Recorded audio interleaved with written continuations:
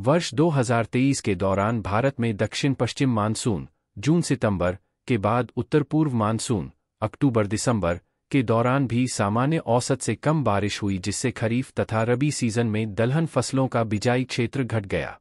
देश में करीब 75 प्रतिशत वर्षा दक्षिण पश्चिम मानसून सीज़न के दौरान होती है। शीतकालीन मानसून भी निराशाजनक रहा लेकिन फिर भी किसानों ने दलहन फ़सलों की खेती में काफ़ी दिलचस्पी दिखाई।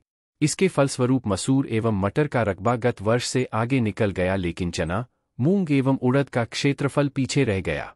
चना के बिजाई क्षेत्र में ज़्यादा गिरावट दर्ज की गई।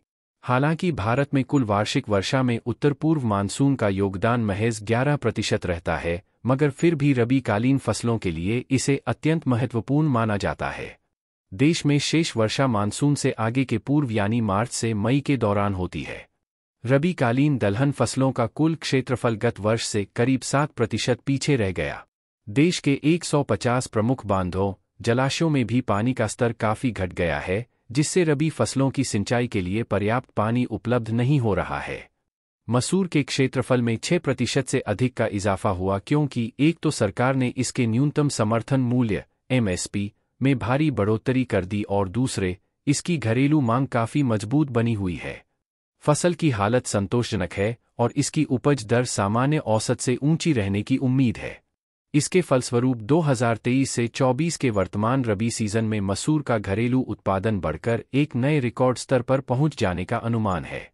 मध्य प्रदेश एवं उत्तर प्रदेश जैसे शीर्ष उत्पादक राज्यों में मसूर की फ़सल अच्छी हालत में बताई जा रही है। एक अग्रणी विश्लेषक फर्म ने चालू रबी सीज़न के दौरान भारत में मसूर का कुल उत्पादन तेज़ी से उछलकर सत्रह दशमलव एक शून्य लाख टन के सर्वकालीन सर्वोच्च स्तर पर पहुँचने का अनुमान लगाया है, जो 2017 से 18 सीज़न के रिकॉर्ड उत्पादन सोलह दशमलव दो शून्य लाख टन से भी करीब एक लाख टन ज़्यादा है। रिकॉर्ड उत्पादन तथा मज़बूत बकाया स्टॉक के बावजूद भारत में मसूर का आयात जारी रहेगा क्योंकि इसकी खपत ज़्यादा होती है। लेकिन कनाडा एवं ऑस्ट्रेलिया में उत्पादन घटने से भारत में मसूर का आयात बारह दशमलव पाँच शून्य लाख टन के आसपास सिमट सकता है, जबकि पहले यह पंद्रह से सोलह लाख टन तक पहुँचने का अनुमान लगाया जा रहा था। Bureau report, market, Times TV.